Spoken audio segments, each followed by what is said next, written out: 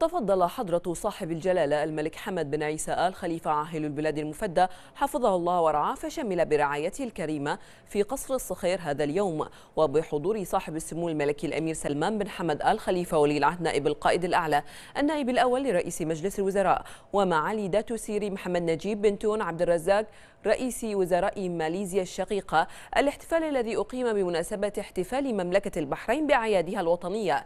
فلدى وصول موكب صاحب الجلالة إلى قصر الصخير ترافقه كوكبة من الخيالة. أطلقت المدفعية أو أطلقت المدفعية 21 طلقة تحية لمقدم جلالته. وخلال الحفل قدم ضيف البلاد معالي رئيس وزراء ماليزيا خالص التهاني إلى جلالة الملك المفدى باحتفالات المملكة بأعيادها الوطنية المجيدة متمنيا للبحرين وشعبها الكريم المضياف دوام الرقي والازدهار في ظل قيادة جلالته ولعلاقات البلدين المزيد من التقدم والتطور.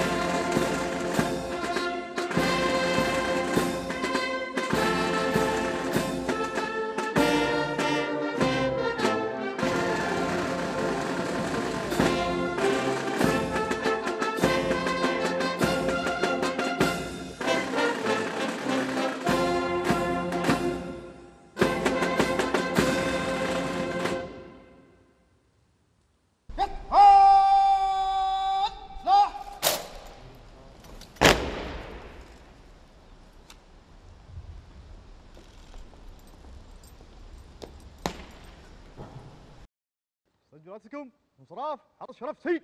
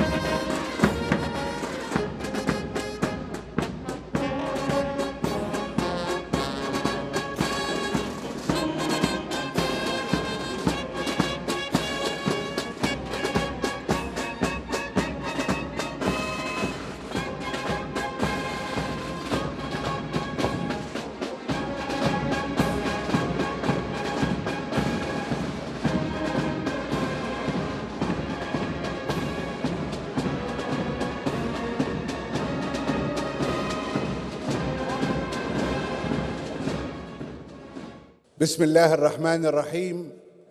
والصلاة والسلام على أشرف الأنبياء والمرسلين.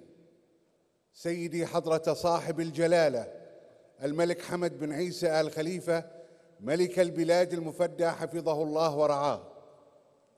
سيدي صاحب السمو الملكي الأمير سلمان بن حمد آل خليفة ولي العهد نائب القائد الأعلى النائب الأول لرئيس مجلس الوزراء حفظه الله ورعاه. صاحب المعالي داتو سيري محمد نجيب بن تون عبد الرزاق رئيس وزراء ماليزيا. أصحاب السمو أصحاب المعالي والسعادة أيها السيدات والسادة السلام عليكم ورحمة الله تعالى وبركاته وكل عام وأنتم بخير. خير بداية لحفلنا هذا تلاوة عطرة من القرآن الكريم يتلوها على مسامعنا المقرئ علي صلاح عمر. أعوذ بالله من الشيطان الرجيم. بسم الله الرحمن الرحيم. إن ربكم الله الذي خلق السماوات والأرض في ستة أيام ثم استوى على العرش. يغشي الليل النهار يطلبه حثيثا والشمس والقمر والنجوم مسخرات بأمره. ألا له الخلق والأمر. تبارك الله. تبارك الله رب العالمين. ادعوا ربكم تضرعا وخفية إنه لا يحب المعتدين. ولا تفسدوا في الأرض بعد إصلاحها وادعوه خوفا وطمعا. إن رحمة الله قريب من المحسنين. وهو الذي يرسل الرياح بشرا بين يدي رحمته حتى إذا أقلت سحابا ثقالا سقناه لبلد ميت فأنزلنا به الماء فأنزلنا به الماء فأخرجنا به من كل الثمرات كذلك نخرج الموتى لعلكم تذكرون. والبلد الطيب يخرج نباته بإذن ربه والذي خبث لا يخرج إلا نكدا. كذلك نصرف الآيات لقوم يشكرون. صدق الله العظيم. كلمه السامية لسيدي حضرة صاحب الجلالة الملك حمد بن عيسى آل خليفة ملك البلاد المفدى حفظه الله ورعاه. بسم الله الرحمن الرحيم. الحمد لله والصلاة والسلام على رسول الله سيدنا محمد وعلى آله وصحبه أجمعين. ضيفنا الكبير معالي السيد دات محمد نجيب عبد الرزاق رئيس وزراء ماليزيا الشقيقة أصحاب السمو والمعالي والسعادة الحضور الكريم السلام عليكم ورحمة الله وبركاته. نود بداية أن نبارك للجميع بعيد الوطن المجيد وأن نحتفي بذكرى تأسيس الدولة البحرينية التي شهدت انطلاقتها المباركة قبل أكثر من مائتي عام على يد الجد القائد أحمد الفاتح وتشكلت هويتها الأصيلة على سواعد قادتها الكرام لتحافظ إلى يومنا هذا على مجدها الشامخ ونهجها الحضاري وقيمها المدنية وبعون شعب وفي يرتقي بمكانتها وينطلق بها نحو مستقبلها الزاهر بإذن الله تعالى. ولا نجد أسمى من هذه المناسبة للتأكيد على تمسكنا بثوابتنا الوطنية القائمة على وحدة الصف وعمق الانتماء وسماحة التعايش التي تجعل البحرين بفضل من الله ويقظه أهلها منيعة على قوى الهدم والفرقة. ومنطلقة نحو آفاق التنمية والبناء دون توقف. إن الاعتزاز بمكانة الوطن والاحتفاء بمنجزاته تحتم علينا أن نشكر الله على فضله وأن نهنئ أنفسنا على ما تشهده البلاد من نهضة شاملة ومتوازنة عنوانها مئوية الإنجاز وعمادها إخلاص وتفوق أبنائها وبناتها. فاليوم تجد البحرين نفسها ضمن مقدمة السباق التنموي العالمي بحسب ما توضحه مؤشرات الإداء في ميادين العمل وهذا حافز يجعلنا وبعون الله ننطلق بذات القوة والعزم لتتواصل مسيرة نهضتنا المباركة. ويسعدنا اليوم أن نرحب معكم بضيفنا الكريم معالي السيد داتو محمد نجيب عبد الرزاق. رئيس وزراء ماليزيا الشقيقة شاكرين له مشاركتنا أفراح احتفالاتنا الوطنية ومقدرين لمعاليه. حفاوة استقباله لنا عند زيارتنا الأخيرة لماليزيا التي وجدناها تنعم بنهضة لافتة وانجازات باهرة يعود فضلها بعد الله لجهوده المخلصة والحثيثة في الحفاظ على رفعة ماليزيا وتقدمها.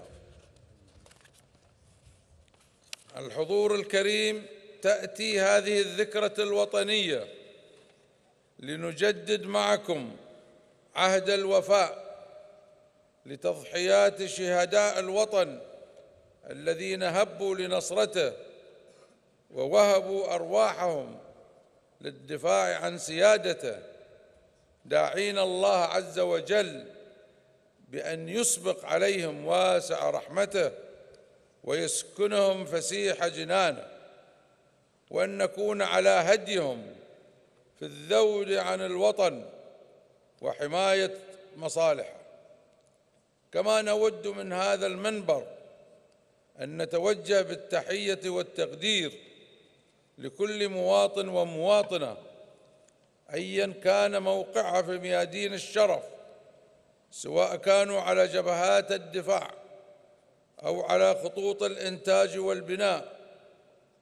ونخص بالشكر والامتنان المكرمين والمكرمات المشاركين في هذا الحفل على عطائهم المتميز وسعيهم البارز في خدمة البحرين.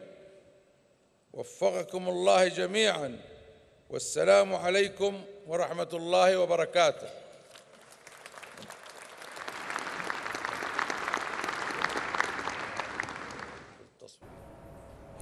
وفي ختام الاحتفال صافح جلالة الملك المفدى وصاحب السمو ولي العهد وضيف البلاد الكريم صاحب المعالي رئيس وزراء ماليزيا الحضور الكرام الذين رفعوا إلى جلالته أصدق التهاني والتبريكات بمناسبة العيد المجيد والذكرى الثامنة عشر لتسلم جلالته مقاليد الحكم. داعين المولى أن يديم على البحرين الأفراح والمسرات والأمن والرخاء والاستقرار. على رواد العمل الوطني.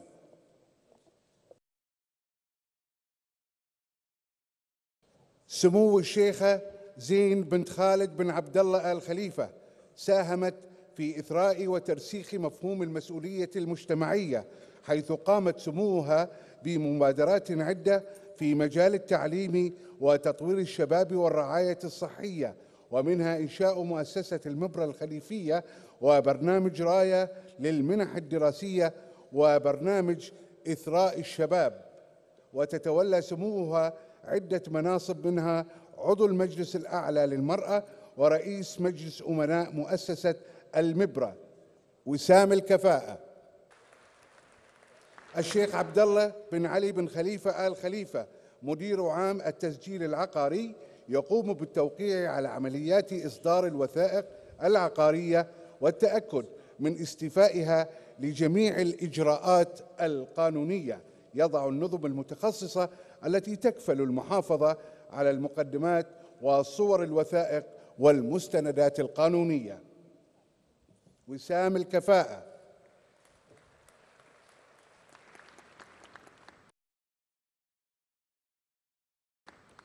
العقيد الركن عبد الله سعيد مهنا الكعبي قوة دفاع البحرين. وسام الكفاءة.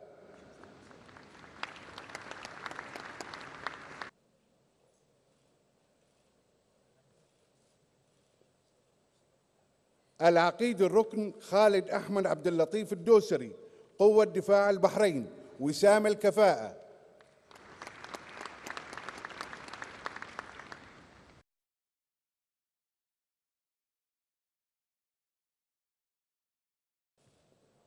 الوكيل أول علي حسين عيسى الدوسري قوة دفاع البحرين وسام الكفاءة.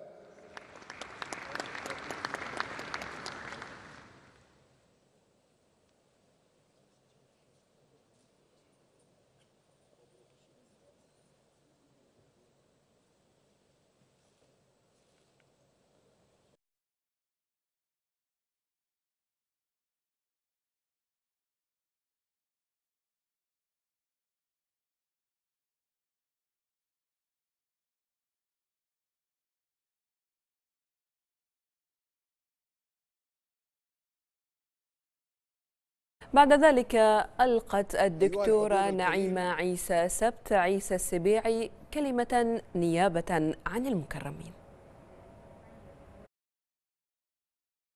بسم الله الرحمن الرحيم. سيدي حضرة صاحب الجلالة الملك حمد بن عيسى آل خليفة ملك البلاد المفدى حفظه الله ورعاه. صاحب السمو الملكي الأمير سلمان بن حمد آل خليفة ولي العهد نائب القائد الأعلى النائب الأول لرئيس مجلس الوزراء الموقر. صاحب المعالي داتو سيري محمد نجيب بن تون عبد الرزاق رئيس وزراء ماليزيا. أصحاب السمو والمعالي والسعادة السادة الحضور الكرام. السلام عليكم ورحمة الله وبركاته. في هذه الساعة المباركة من هذا اليوم المجيد يوم ذكرى العيد الوطني لمملكة البحرين وعيد جلوس جلالتكم على عرش هذا الوطن العزيز يطيب لنا أن نهنئ جلالتكم ونهنئ الوطن بأكمله فإنه اليوم الوطني الذي تجمع عليه كل أبنائه الذين يفتدون ترابه.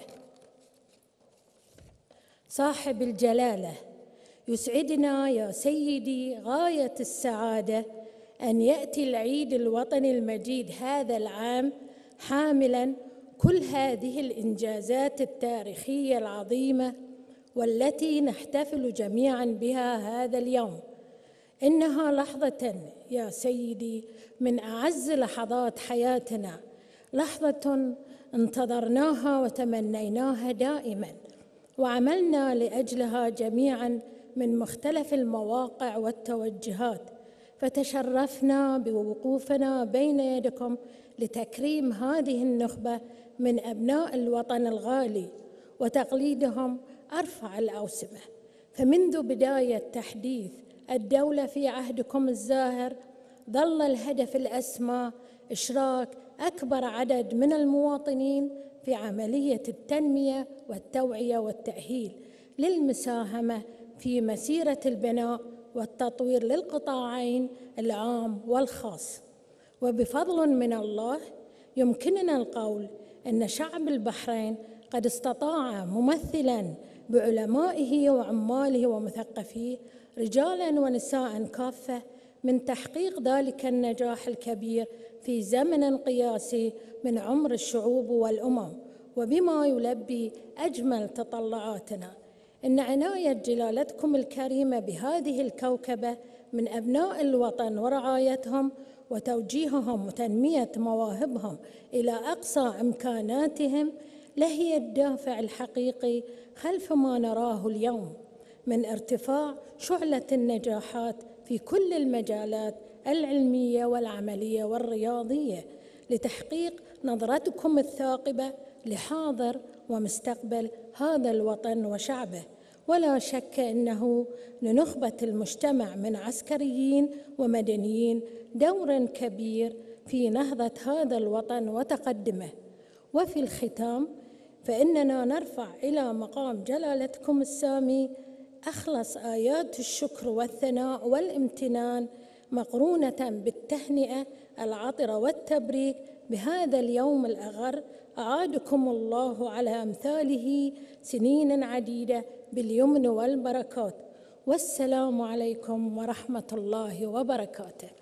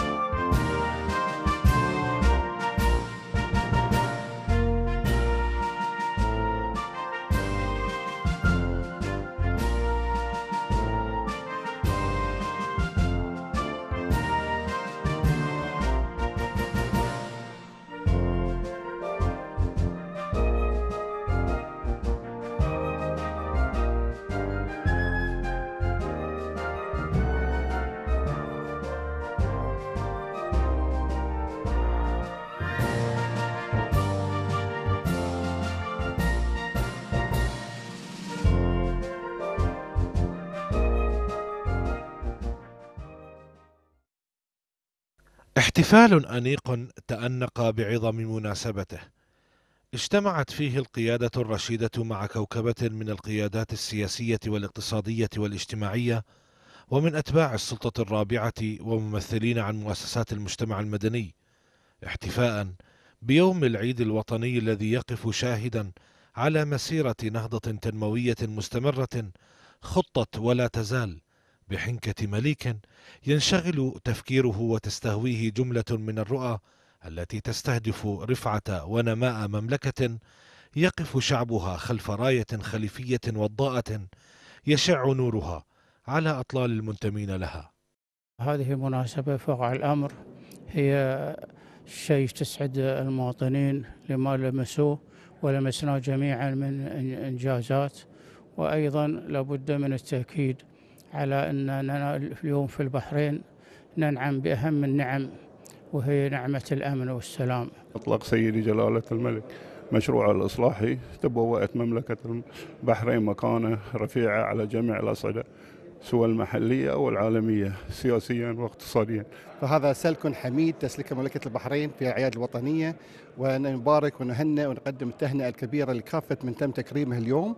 ونتمنى للجميع بمزيد من التوفيق والنجاح وللبحرين آه، ملكا وحكومة وشعبا مزيدا من الأفراح والتطور والنماء والأمن والسلام. ما في شك أن هذه عادة آه، سنوية جلالة الملك آه، من مكرمة على كل من خدم هذا البلد وهذا شيء طبعا ينعكس بالش- بالشيء الإيجابي ويكون دافع لكل من عمل لهذا الوطن بأن هناك تقدير كبير من قبل ال- القيادة الحكيمة حفظها الله.